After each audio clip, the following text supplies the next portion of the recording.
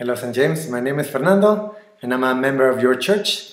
Uh, I'm from Mexico, so please bear with my accent, especially because this presentation is going to be big, very big. So, what is the purpose of this talk?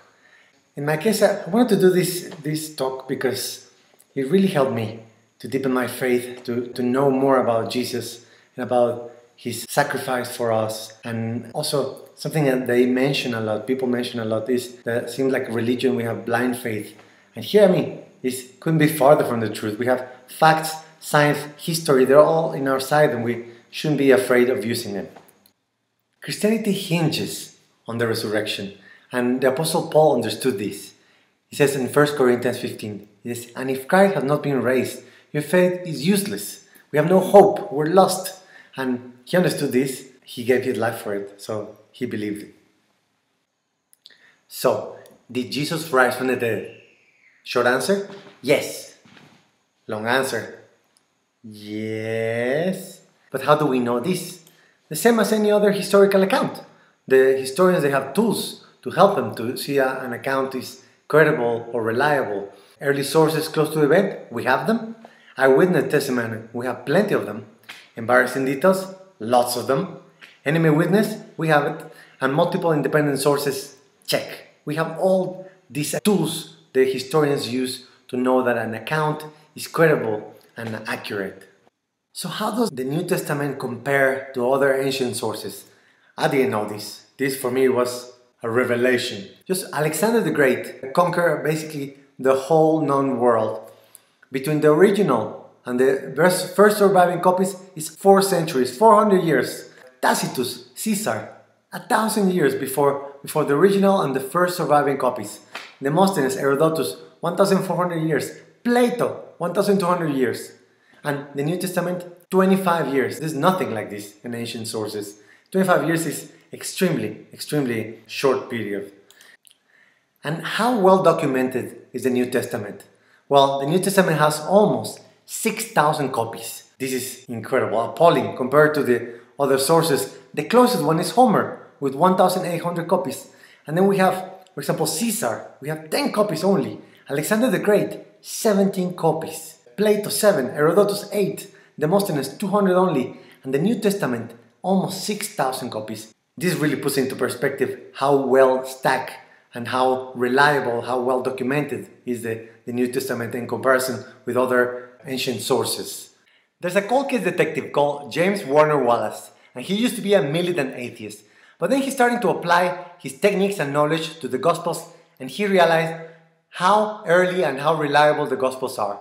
And he makes a case for the Gospels, for the early Gospels, and he focuses on Luke. Luke writes the Gospel of Luke, and he writes Acts. And then Acts describe the life of the apostles after Jesus ascended to heaven, and then how they're preaching around, doing the, the thing, and then Luke is very specific, very meticulous. And then we don't have, it's missing from his account the destruction of the temple, which was in uh, 70 AD. And then also the siege of Jerusalem, which was a huge event where people were getting crucified, people were starving. It was a huge event. Also, from Acts is missing the deaths of James, Peter, and Paul, which happened between 61 and 65. So we don't have any of these extremely important accounts. And the reason is because it hadn't happened yet. Luke wrote Acts much earlier than that. So he cannot write about it. Also, uh, we have Paul in uh, 1 Corinthians quoting Luke as scripture, and we know that Luke is later than Mark. So Mark is around 45, 50. So we can really make a case for maybe 15, 20, 25 years maximum from between the crucifixion and the first gospel. This is extremely early in ancient history. William Craig, he's a theologian, philosopher, and he writes, from the very nature of the case, the best historical sources were included in the New Testament. People who insist on evidence taken only from writings outside the New Testament don't understand what they're asking us to do. They are demanding that we ignore the earliest primary sources about Jesus in favor of sources that are later, secondary, and less reliable, which is just a crazy historic methodology. It's like a crime scene. You have a crime scene and then you have all the evidences, you put it in a box. You put the fingerprints, you put the murder weapon, you put all the witness account, we put photographs, we put maybe a blood glove or maybe a, a little piece of fabric or hair and then you put it all in the one box full of uh, the evidence. The most reliable evidence is, is there, and they don't want you to solve the case with the stuff inside the box. So it's the same with the Bible. You have the best sources, and it's all put into one cover, the Holy Bible. Here's where things starting to get a little more fun. This is the minimal facts approach, and this is a method that considers only data or facts that are basically granted for every single scholar or people that study this topic. And these are four of them. It's the death of Jesus by crucifixion, the empty tomb, post-resurrection appearances, and transformation of the apostles and conversion of the, the skeptic Paul and James. So we're looking for a hypothesis that can explain all these four facts.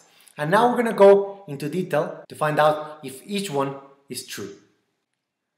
This is Bart Ehrman. He's a skeptic, he's an atheist, and he's a New Testament scholar. He's probably the most famous skeptic New Testament scholar. And he says, one of the most certain facts in of history is that Jesus was crucified on orders of the Roman prefect of Judea, Pontius Pilate. And we also have John Dominic Crossan. This is a skeptic as well. He's from the Jesus Seminar, and they're very skeptic, basically atheist.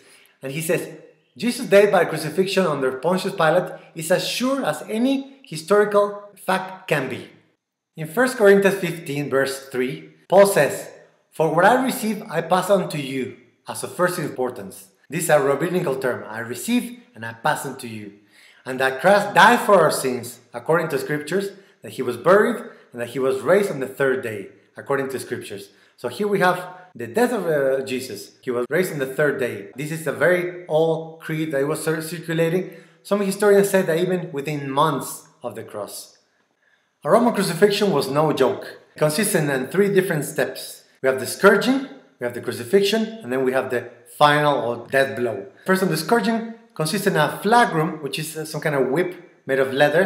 It has some metal pieces on the front, some kind of claws, and some piece of bone, which is especially designed to remove all the flesh from the body. So a lot of people they just bleed to death. Maybe the intestines spill out. It was a brutal, brutal thing. And the crucifixion obviously is extremely excruciating, as the, what the word means. If somebody's to survive this situation, we have the third and final step, which is the death blow. We could be with a sword, with a spear. They put him on fire. Nobody's to walk out from a full Roman crucifixion. The empty tomb. How do we know this happened? Well, it was reported in the Gospel of John independently of the Synoptic Gospels and Acts. Women were the main witnesses, and under Jewish law, this was unacceptable. They will never make something up like this. Jewish leaders don't deny it, actually, they try to explain it away. And we have the Jerusalem factor, which is that everything happened in Jerusalem. We have the crucifixion, we have the empty tomb, we have the resurrection, we have the appearances, we have the apostles preaching, it will be much harder to invent something if it's on the same place happening. And we also know the location of the tomb that used to belong to Joseph of Arimathea, one of the Pharisees. Also, the Toledot Yeshu confirms it, and it's implied in the early creed in 1 Corinthians 15, where it says, Jesus died for our sins, and then he was raised on the third day. So, implying that there's an empty tomb there.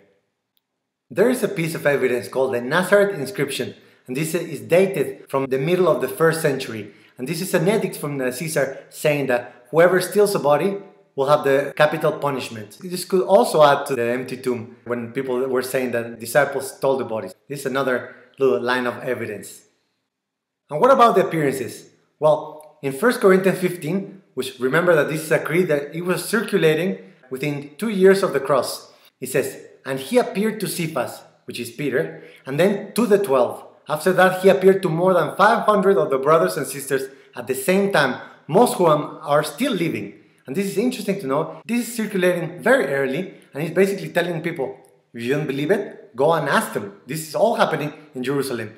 And then he says, although some have fallen asleep, then he appeared to James, which was another skeptic, and then to Paul, which is the person uh, passing this message. So it's very interesting how this, this creed is telling us all the appearances of Jesus one by one. So he appeared to individuals, to small groups, to big groups, to friends and foes. This is a very complete picture of the appearances. This is the skeptic Bart Ehrman again, and he says, It's a historical fact that some of the Jesus followers came to believe that he had been raised from the dead soon after his execution. Gerd Lüdemann, German uh, professor. He says, It may be taken as historically certain that Peter and the disciples had experiences after Jesus' death in which Jesus appeared to them as the risen Christ. This is Paula Fredriksen. She's a Jewish historian, she's also a skeptic, and she writes, I know in their own terms what they saw was the raised Jesus. That's what they say, and all the historic evidence we have afterwards to attest their conviction. I'm not saying that they really did see the raised Jesus. I wasn't there. I don't know what they saw, but I do know as a historian that they must have seen something. So, what kind of something did they see? Well, I tell you, the kind of something that will change some scared disciples into bold proclaimers of the faith, and the kind of something that will change some skeptics into martyrs of the faith as well. So, what they saw was the resurrected Jesus. What did Paul lose? Well, as they said, Paul had it made. He was a Roman citizen, which gives you a lot of rights and privileges. He was a Pharisee. He was from Tarsus, which is the cultural capital of the times. He spoke Hebrew, Aramaic, Latin, and Greek, and he studied under Gamaliel, which he was like the, the main teacher as well of the time. So basically, he's the equivalent of he studied in Harvard and he made his doctorate in Oxford, and he had money and he hadn't made. But he changed all that for what? Well, he changed it for all this. He was persecuted for years. He got five times 39 lashes. Three times he was shipwrecked. Three times he was beaten up with clubs. He was stoned and left for dead. He was incarcerated and ultimately martyred. So he definitely believed what he was preaching. What about the non-Christian sources? So here's a list of a few of the non-Christian sources, some of the extra biblical sources, Josephus and Tacitus being the most famous ones, but they all write things about Jesus and about his ministry. And remember, these are not Christians, These are, these are not even friends. And if we put a composite of extra biblical accounts, just, just a, a, few of the things, we still can get to know a lot of Jesus. Jesus was born in the first third of the first century. These are not biblical sources. And he was born out of, out of wedlock. Obviously, they didn't believe the virgin birth. He gathered disciples, five are named. His ministry taught a number of controversial topics, intersected with somebody named John, who baptized a lot of his people. He was wise and performed wondrous deeds. He was arrested and crucified under Pontius Pilate, which this narrows the time gap between 26 and 36. His disciples stole the body. We have the empty tomb there. And despite his agonizing death, the movement of his followers did not die out. In fact, shortly after the crucifixion, they claimed to see him rise from the dead, worshipping, sang hymns to him, as if he was God and his messiahship has been vindicated. So this is very interesting how even the extra biblical sources give us like a, a good perspective, even not a friendly perspective, but of Jesus and, and his ministry. This is one of my favorite parts the opposing theories. And it's how the skeptics try to explain away all these facts. And this is a list of the very best, very best explanations they can come up with. But remember, these theories or hypotheses they offer, they must explain away each one of the facts. They have to explain the death of Jesus, they have to explain the empty tomb, they have to explain the appearances, and they have to explain the conversion of the skeptics. They all have to offer an explanation that covers all these facts. First, we have the hallucination theory. And remember, hallucinations are like dreams. They only happen on the mind of the person having them. Group hallucinations have never been recorded. Also, this one doesn't explain the empty tomb. It doesn't explain the conversion of the skeptics. The disciples also we know that they touched, ate, and talked with Jesus. And nobody was expecting on the Jewish belief that uh, it's going to be a resurrected Messiah. They only look forward at the end of time for the resurrection. So this one is, is not a, an adequate explanation. The apparent death theory is the hypothesis that skeptics propose that Jesus didn't die with the crucifixion, with the flogging, with uh, being in a cold tomb, very, very damaged, so this, this is a very odd theory, but there's all other factors as well that they don't mention. There's no record of somebody ever surviving a full Roman crucifixion. It doesn't explain some of the facts, like the conversion of the skeptics, James and Paul, and it doesn't explain the death account of Jesus that historically we have. Jesus was in no condition to move the two-ton stone and escape from the Roman guards. And after a full day of beating, flogging, crucifixion under the hot sun, bleeding, is it Jesus couldn't have appeared to his disciples as the risen, glorious Messiah. He wouldn't be like, wow, I can't wait to have a, one of those resurrected bodies of my own. They'll be like, let's take you to a hospital. Let's take you to Pelonomi. They'll probably finish the job there. The wrong tomb theory. This one's a little silly. The skeptics just say maybe they went to the wrong tomb. It doesn't really matter if they went to the wrong tomb. Everybody knew where the right tomb was. All they have to do, the Pharisees, just to produce the body and just to show it around and say it didn't happen. Also, it doesn't explain the multiple appearances. It doesn't explain the transformation of the disciples, how they became super bold and courageous, and the conversion of the skeptics. And also omits the words, he was risen, found in every manuscript. They didn't think that he was risen, they didn't assume he was risen, they saw the risen Jesus. It's a big difference. The conspiracy theory. This is the claim that the early Christians stole the body and made up the whole resurrection story. This one's really bad. The early Christians had nothing to win and everything to lose. These kind of things only happen if you are going to win money or power or sex. And the early Christians didn't win any of those things. Also, according to Josephus, the testimony of women was inadmissible in a court of law. So the only reason why somebody will make up the story and put the women finding the empty tomb is because the women found the empty tomb. This is the kind of stuff that you will never make up. The disciples also couldn't pass the Roman guards, and even the guards admitted that something strange, miraculous happened, and they have to be paid to say otherwise. It doesn't explain the multiple appearances, the transformation of the disciples, or the conversion of the skeptics. Also, the apostles gave their lives for this, so we know they're honest. Liars make poor martyrs. The legend theory. Whoever come up with this one, I think is at least very uninformed. In order to have a legend, we need to have at least two or three generations. And all these accounts are within the one generation, with the same generation, and so people are still alive. This theory doesn't deal with any of the facts. It doesn't deal with the empty tomb, it doesn't deal with the appearances, it doesn't deal with the conversion of skeptics, etc. etc. And, uh, and the old creed from 1 Corinthians 3.15, it attests about the miracles of Christ and the resurrection, meaning that it was all part of the story from the very beginning. So this one is just, let's say, uninformed. Alright, so those were the very best theories we have. Now we're gonna move on to the very worst. These are the alternative theories. The first one to try to explain away the resurrection is aliens. On Ancient Aliens website mentions that an unknown artist seems to be telling us that these flying saucers were present during the death of Jesus. The faces likely mean that these craft were piloted by people or beings that seem to play a central role in the event, and they must have been part of the crucifixion story. Hmm, how I didn't think of that before. The next one is the lettuce theory, and this one is similar to the wrong tomb theory. And apparently, some gardener was working at the tomb where Jesus was buried, and there was a lot of curious people walking around, and they were stepping all over their newly planted lettuce seeds. So he got very angry and he removed Jesus' body, he put it somewhere else, and then when the visitors came, saw the empty tomb, they assumed that Jesus was risen from the dead. You can't take this theory seriously, even just by the name, the lettuce theory. Maybe if it was cabbage, but not lettuce. The twin brother theory. This one is my favorite. Apparently, an unknown identical twin, separated at birth, who remained hidden up all his life, grew up independently from Jesus, came back just at the time of the crucifixion, stole Jesus' body. He presented himself to the disciples who they thought that he was Jesus, risen from the dead. We're not even going to go how to debunk these theories.